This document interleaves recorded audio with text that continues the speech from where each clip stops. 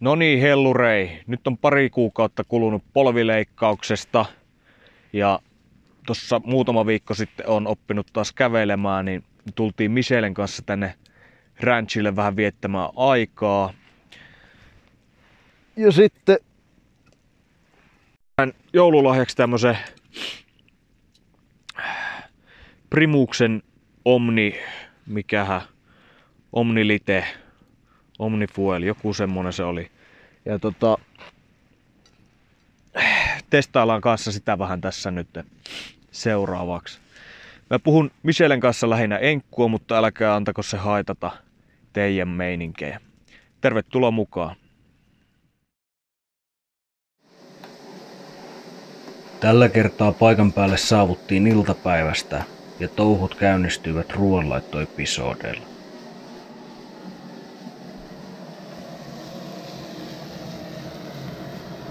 Uusi keitin ratkaisu palveli erittäin hyvin ja päivällinen saatiin pöytään ilman ihmettelyä.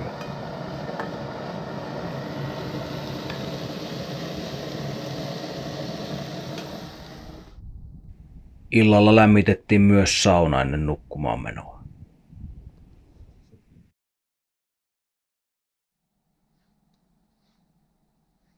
Seuraavana aamuna lähdettiin lähimaastoon seikkailemaan. Lähettyvillä sijaitsi verrattain askeettinen pressukota, joka palvelisi täydellisesti keittimen koeajosessioita ajatellen. Sisätiloissa härveliä oli käytetty kaasulla, mutta nyt testattaisiin dieselin toimivuutta.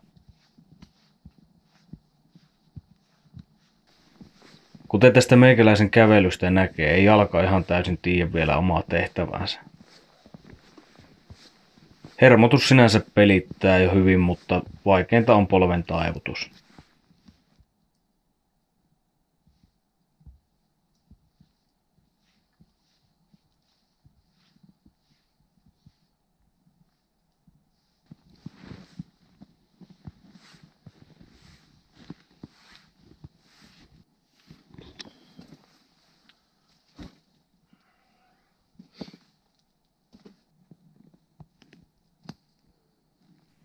Kodassa oli kyllä puita valmiina, mutta mä päätin tehdä kuuse alaoksista tuleet ihan harjoituksen vuoksi ja lisätä sitten näitä kunnon puita sen jälkeen siihen kokkoon.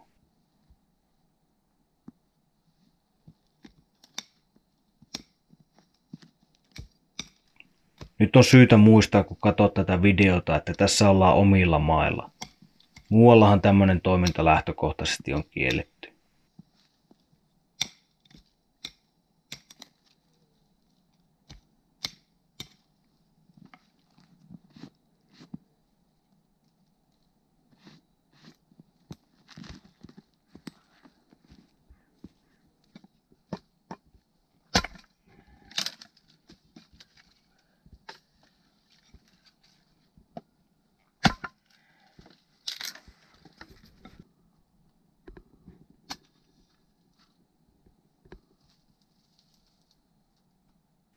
Erilaisten tulien tekemistä on hyvä reenata tavan takaa, jos siihen vaan on mahdollisuus.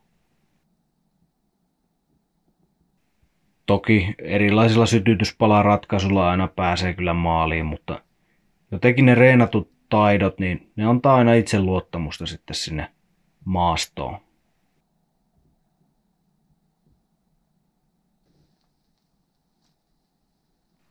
Mä sanoisin, että tulen tekemisessä korostuu kaksi asiaa hyvät valmistelut, eli sytykkeet on asialliset ja niitä on tarpeeksi. Ja sitten se, ettei häsellä vaan tekee rauhassa.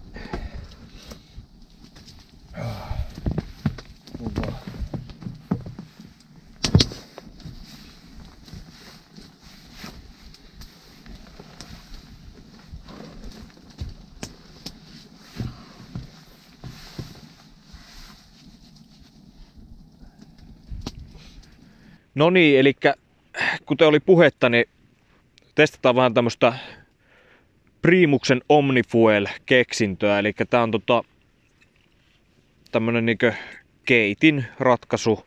Tästä aukeaa tämmöiset jalat. Mä sain tän joululahjaksi. Ja tota, tässä on tota, näytetään vähän sinne lähemmäs. Tää näyttää tältä. Tässä on letku kiinni. Tää on siis monipoltin keitin, eli tässä voidaan käyttää kaasua, mitä nyt esimerkiksi tuossa kun ollaan oltu tuossa aitassa, niin on käytetty siellä sisällä kaasulla, mutta mulla on tässä tämmönen äh, tankki, mikä tähän kiinnittyy myös, tuli mukana. Ja tähän tota, saa pensaa tai mitä tahansa laittaa. Ja nyt tänne on laitettu sitten diiseliä. Ja nyt tää on niin kuin ensimmäistä kertaa testata, että miten tää lähtee toimii tällä poltto, poltto tota, ei polttoöljyllä kuin dieselillä. Ja ohjeet olla, että 20 pumppausta suurin piirtein. 5 kuussa.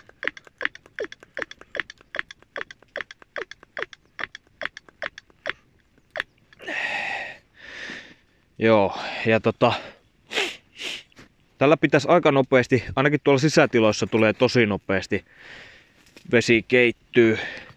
Katsotaan miten se näissä olosuhteissa onnistaa.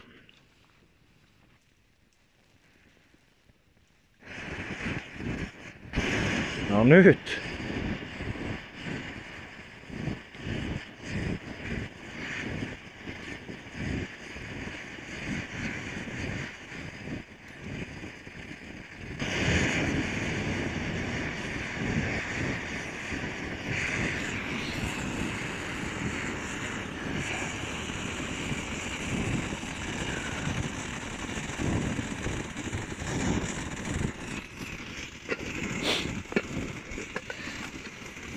Vähän harjoittelua vaatii. Eli se miksi tuossa nyt näyt, niin kesti, niin veikkaan, että ei ollut huolellisesti Janne poika laittanut kiinni tätä polttoainepulloa. Eli se on nyt sellainen juttu, mikä selkeästi kannattaa huomioida jatkossa, että polttoainepullo on huolellisesti kiinni.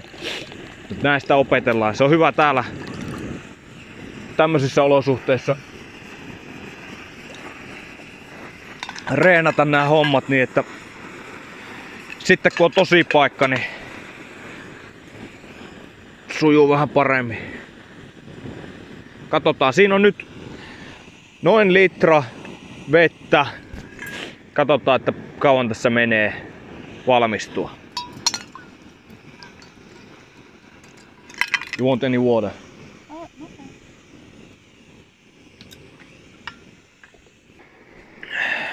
Otetaan sitä kameran välillä näppeihin, niin näkee vähän eri kulmasta. Niin tommonen jälkipolti siellä palaa.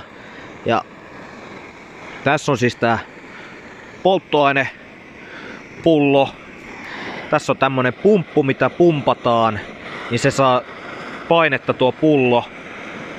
Ja sitten se työntää sen, sen tentun, mitä siellä nyt ikinä onkaan, tänne näin.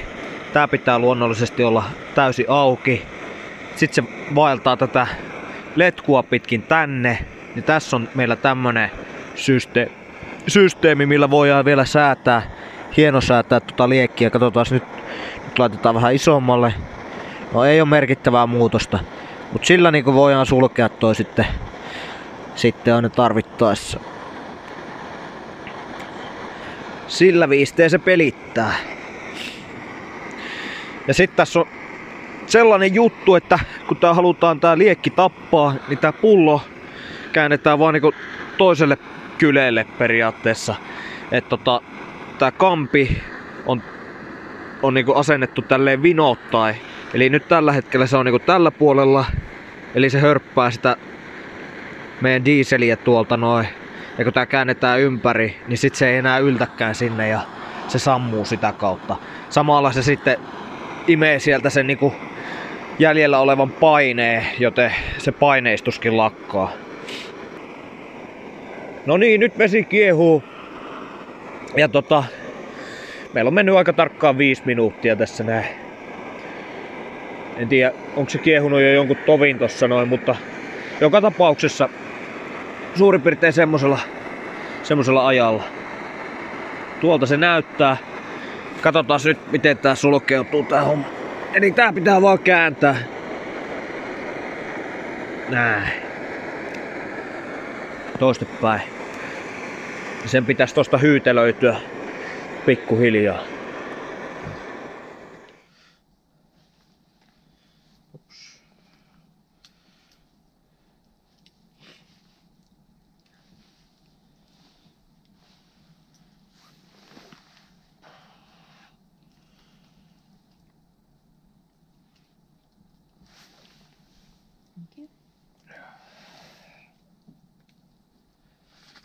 Se meinaa savustaa.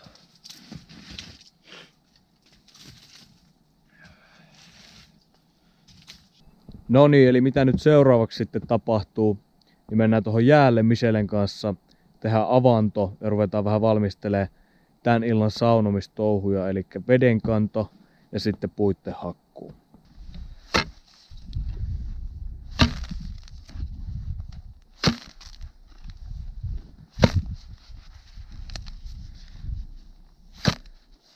Michelle ensimmäistä kertaa tuuran käytössä tässä näin.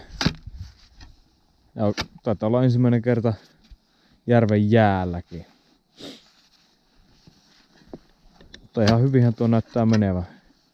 Tehdään avanto, niin päästään taas illalla saunoon. Meillä oli ää, eilen illalle myös avanto, mutta se oli enemmän tuossa rannassa. Me tultiin niin iltasella. Niin se oli vähän eri kohdassa, kun me ei oltu ihan varmoja, että uskaltaako tähän jäälle tulla mutta siinä oli sen verran sontasta se vesi, että me nyt päätettiin sitten, että kun nähtiin, että tämä jää on ihan hyvä, niin tullaan tähän tekemään sitten parempi avanto.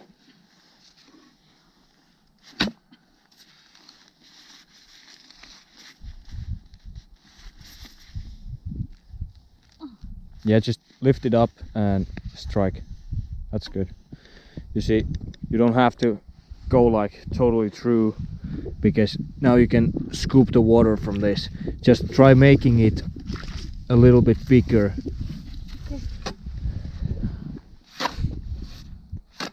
eli just se että eihän tota tarvii niinku avantoa ihan kokonaan tosta tai niinku ettei tarvitse tehdä isoa reikää riittää että sieltä on yksi pieni reikä mutta tekee sitten vaan tommosen niinku, miksi tota nyt sanois tommosen niinku kylpyammeen tohon noin mikä mikä sitten täyttyy tuolla vedellä. Se toimii ihan, ihan loistavasti. Ihan on miellyttävä keli kyllä kaikin puolin, että tota, tässä on semmonen pari astetta pakkasta ja tota, no vähän tuulahtaa, mutta ei todellakaan mitenkään pahasti. Ja tosi kiva, tosi kiva päivä viettää aikaa.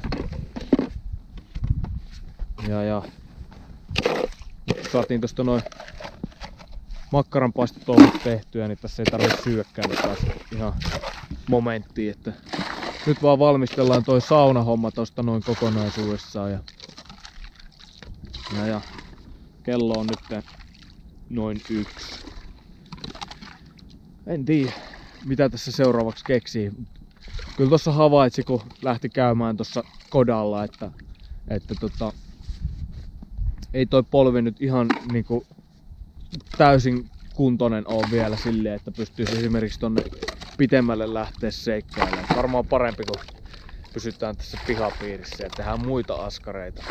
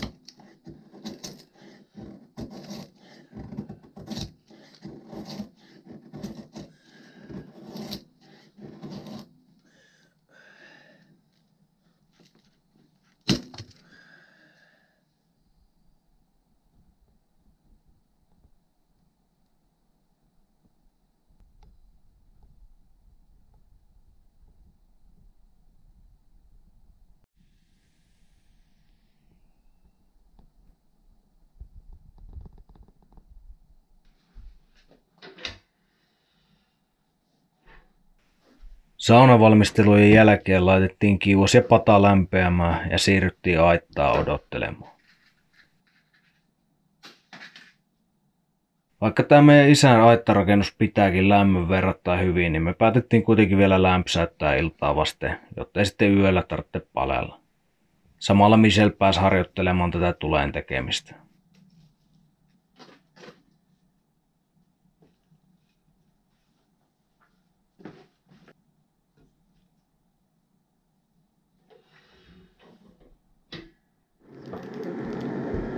Ennen saunaa ehdittiin myös hyvin ryypätä teet. Saunan jälkeen vuorossa olikin sitten kunnon ruokaa ja rentoutumista.